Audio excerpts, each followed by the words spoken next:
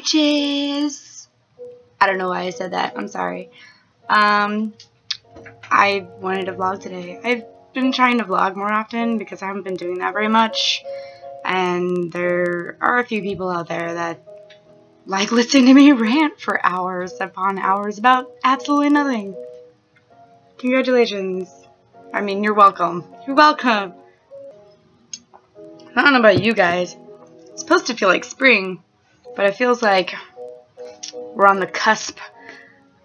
Why did why did I do that? The cusp of winter. Wow, Dory. We know where your mind goes.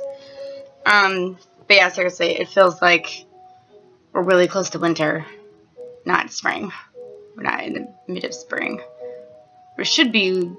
Actually, it was like really hot, like the last couple weeks.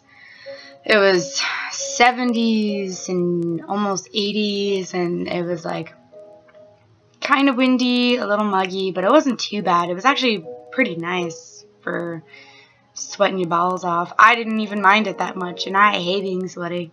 Although I've been working out more, so maybe that I'm kind of desensitizing myself because I'm like kind of always sweaty now. At least in the mornings, except today. I I don't work out on Fridays because I'm too busy in the mornings, um, which I don't really have a lot of time to hang out here because I just start waking up my husband because apparently an alarm clock does not help this guy. He has to have physical contact of me shaking him to death. I don't know why that's a thing. He's just a really difficult person to wake up. And apparently his mom's the same way.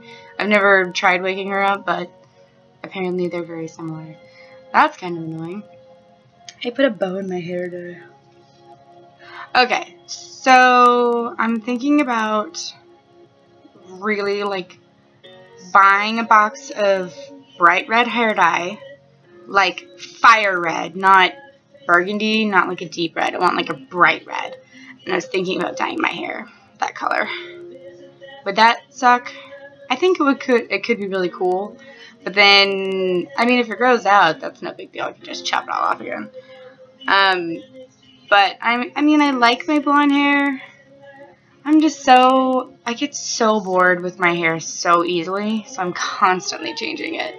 Like, um, it was, well, it was like almost black. Last time it was like really dark brown, and I liked that color. I really liked that too. But, you know, after it grew out and everything and I cut it and it slowly turned into my normal hair color. This is this is mine. This is all me. I'm this like sandy blonde. I've always been a blonde growing up. I used to be a lot lighter when I was younger. I think when I hit like my junior year in high school, that's when it started darkening a bit and then after high school it just got a little bit darker and darker. So now it's like a sandy blonde, but um I mean it's still pretty pretty blonde considering. There are people out there like celebs that everyone's like, oh, she's such a blonde, and I'm like, I'm like not really. Her hair is kind of leaning on the brown side. Um, like I'm pretty sure me and my sister Katie have the same hair color, but she dyes hers burgundy, and she's always been burgundy for years. And then my other sister, Greta, she's I think she's a little bit like a light brown. Um, but she she has like her natural hair color, but then she kind of ombre but reverse. She um like did blonde on the ends, and she's got long hair. So that's that was kind of interesting. I used to have super long hair. Like I don't even know where the pictures are. Like in middle school and early high school, my hair was like down here, and it was like bright, bright blonde. And it was kind of like straight, but it would curl on the ends. And that's all natural. And I mean, I, I liked it at the time, but I think it was more so my mom really liked it and she didn't she never wanted me to cut it or dye it or anything so now as an adult i'm kind of like i want to do this i want to do this i just want to try everything um, one thing i will never do ever ever ever again is bleach my hair i almost almost bleached my hair one other time. Um, but I did it once. I did it right before I got married because I wanted to be blonde for my wedding. I don't know why. I just, I was like, I want to be somewhat natural looking, but it wasn't really because like the top of my head was like super white, and then it was like kind of blonde, and then it was like this reddish blonde. Strawberry, it was really weird. Uh, my hair was kind of funky. I was super fat for my wedding. It, like, I hate my wedding photos. Everyone's always like, you know, I mean, I didn't really care. Like, I cared at the time. I don't really care that I was fat then. I don't care. I mean, I still feel like I'm similar to the same size. I don't think I've really changed that much. Um, I just dress better. Um, I dress a lot better than what I used to.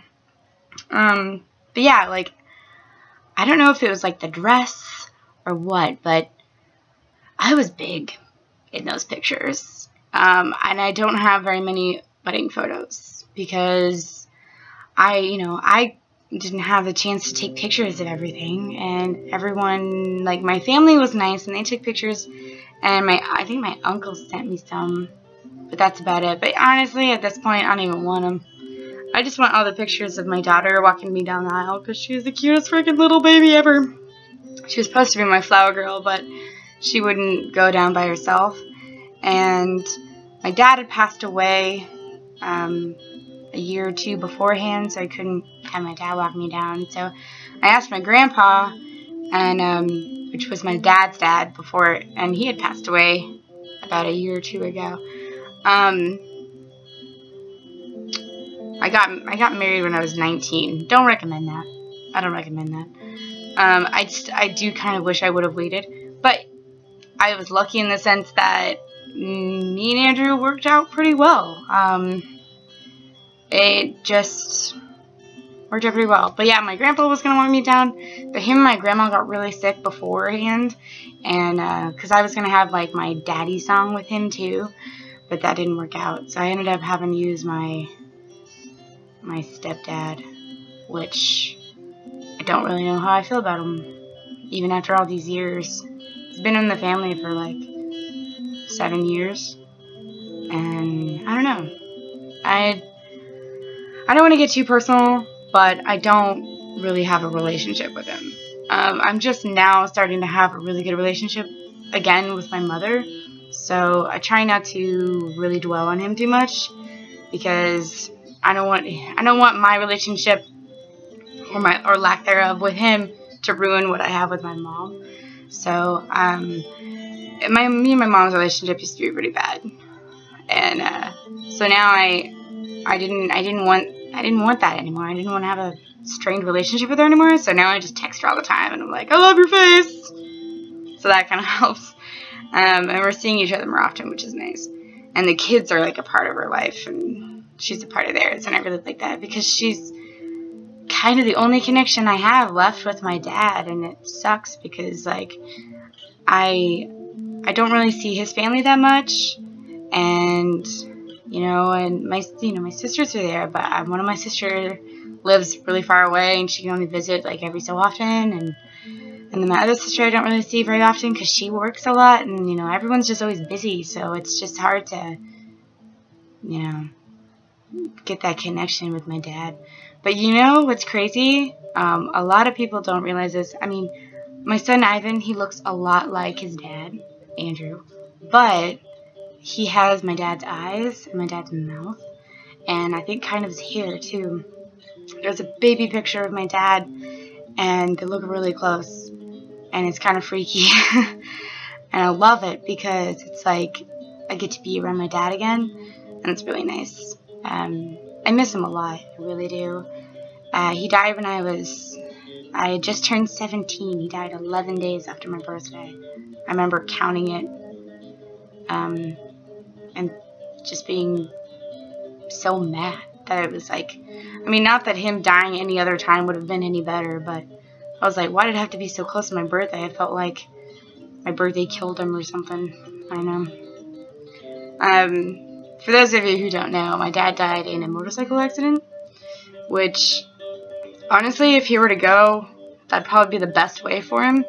I can't see my dad being sick in bed or you know, something along those lines. My dad was an avid scuba diver and motorcycle enthusiast, so it makes sense that he would pass away doing one of those. And um, you know, it sucks that he's not around anymore. He never got to meet my kids. Um, I, I, um, he passed away, and then my daughter was born three months later, and that really sucked because uh, he didn't get to be there. And uh, my mom had similar problems. Her dad had passed away from a heart attack um, in her 20s, and he had never got to meet any of her kids either. So, me and my mom kind of have that bond where it's like, I get it, you know, it sucks not having them around. And, you know, dads don't get enough credit. I think people are always like, oh, are you close to your mom? Like, are you close to your dad? I was like, you should be close to your mom and your dad. Everyone should have a special relationship with their parents. Um, that's why I'm, you know, reconnecting with my mom because I don't, I don't want that. I don't want to something happen and then wish that I would would have done something. I'm, I'm not gonna do that. Um, and I think that's really important. I think there was a lot of a lot of pain and stuff going on, but you have to push that aside because they're your family. You know, they're the only ones you have, and uh, you don't want them to get hurt or for something to happen to you, and then you won't be able to fix it. So I'm trying to do that now. trying to build a better relationship. I'm not gonna talk about what happened between me and my mom um, I, I, I have talked about my dad before actually in videos, but I've never posted it. So this is kind of a big deal to me. I don't really like talking about it too much because I, I mean, I get sad, but I always feel like I'm, I'm telling everyone my problems and that like, you know, like I'm burdening people. I've always felt that way whenever I talk about my dad. So I try not to because I feel like I put everyone down and I put them in a bad mood. And I don't want to be that, that guy. So, but yeah. What is on your head? Chocolate? Chocolate. So anyway, um, I got really personal in this video. I'm not really sure why. Um, if you guys have similar stories or have had, you know, lost a loved one, you know, feel free and talk to me about it. You know, I'm I'm always willing to listen and you know, you guys are always sweet and always listening to me, so I mean, I can show the common courtesy of listening to what you guys have to say. Um, he's been gone for a long time. I mean, I'm 25 now, and he passed away when I was 17, so it's been a long time, but I remember for my birthday, he got me, I was pregnant, which was weird. You know, how do you tell your dad that? And, um, which he took it pretty well, actually. I was very surprised. Um, he was the only person who asked me if I was okay. And so that just goes to show that you should really talk to your dads more often. If you're really close to your mom, talk to your dads. Dude, I, I wish I would have talked to him more about like personal things because I think he would have gave me really good advice. Um, but he gave me this movie called Howl's Moving Castle. I'm a huge Hayao Miyazaki fan. Love him. I think he did one. He's doing like one last uh, movie. Although so he says. I think he's said that before and he does another movie anyway. But I don't think it's been translated to English yet. I don't remember what it's called, but it looked awesome. Um, but he gave me Howl's Moving Castle, and I love that movie. It's one of my favorite movies ever. You should go check it out. It's a Hayao, H-A-Y-A-O, I believe. Miyazaki, I don't know how to spell that. Um, but he is an amazing person. Uh, he does uh, Studio Ghibli, which is like a bunch of different things. Um, he did Princess Mononoke, Ponyo, Spirited Away, um, all these amazing films. Kiki's Delivery Service, Castle in the Sky. Um, those are just the ones I own. Um, there's tons more. Um, I think his son did The Tales of Earthsea. Not my favorite. It, it has a really cool, like, look and everything. Um, but it, it wasn't my favorite. And I'm, sure I'm sure the son's really good. Um, it the just this the movie itself just didn't really do anything for me. Um, but it's still an interesting watch. So give it a try. So yeah, Howl's Moving Castle is one a great one. I don't know which one's my favorite because I love a lot of them. But I'd say Howl's Moving Castle, Spirited Away, which me and my dad used to watch together, which is great. Um, and what's that other movie? Uh, well, I really like Kiki's Delivery Service too. Uh, uh, Princess Mononoke is another really, really good one. So, Princess Mononoke was the first one of the Miyazaki films that I ever saw uh, as a kid. It blew my mind. I was just like, what is this magic? I was already kind of into anime. It's not, it's not anime, but I kind of compare it to anime because it's, it's not like you're watching a cartoon. It's, it's different. Um, his movies are like movies. They're just animated. You know, um, I one of the first animes I ever watched was Sailor Moon and Dragon Ball Z, and I was like totally into those. Uh, more so Sailor Moon than anything else, though. And then as I got older, I watched a bunch of other ones, like Pretear is a really good one. Um, all the really girly ones. Chobits, I really liked. Uh, Trigun. Hello, Trigun. Trigun is a great anime. I don't care who you are. Oh my god. Um, Full Metal Alchemist is a fantastic anime. It, oh man, it's one of the best animes out there. It is so heart-wrenching. I just don't, like, you have to watch Full Metal. Full Metal, Trigun's really funny at first, but then, like, as the season goes on, it gets a little more serious, but it's a really good one. Like, honestly, that would be a fantastic live-action film, or, like, miniseries. God, I wish somebody would make it a miniseries, because that would be fantastic. Trigun would be amazing as that. Um, there's another one, Outlaw Star is pretty good. Um, I used to watch Gundam Wing, but I don't remember what that's about. I just remember I really liked Quatre because he's like the sweetest one, and then there's like a couple episodes where he goes completely nuts and he's like psycho, and I just love that. Um, but yeah, there's just there's a lot of good anime out there, a lot of good stuff. But yeah, I would totally watch Full Metal Alchemist and Trigun for sure. Those are the more, um, people say they're more geared towards men, but honestly, Full, Metal blew my freaking mind. And Trigun's so funny, like, I don't know why people would say, like, it's just for guys or just for girls. They're really good. Um, if you're into, like, super cheese, I mean, I'm talking about mega cheese, cheesy, uh, Sailor Moon for sure. It's so horribly awesome. First off, like the lo the love interest like relationship is kind of horrible, but as a kid, you're like, this is great.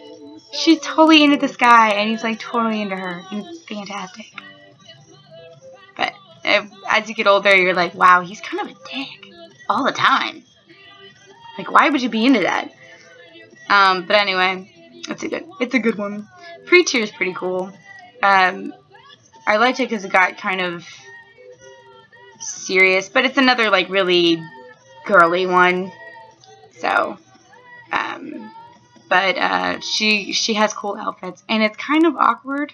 There's a there's a something about Pretear that's a bit awkward, but you kind of get over it. I mean, with anime, anime is just kind of odd sometimes. Women turn into men sometimes. Men turn into women. Um, and I'm not talking about like transgender. I mean like, it's like all of a sudden they're a man and then they switch back to a woman and it's like that's their day. So, strange things like that. Um, because I don't really think transgender is change strange. So I don't want to make I don't want to make you guys feel like I'm talking about transgender being weird because it's not. Um, honestly, like I didn't even know what transgender was until like this past year and a half. Um, it was just so new to me. Same with like asexual and pansexual and all this other stuff. I am rambling. So uh, I'm going to get off here because this video is going to be super, super long. um, so yeah, check out all those movies and stuff. Make a list. They're good. They're good.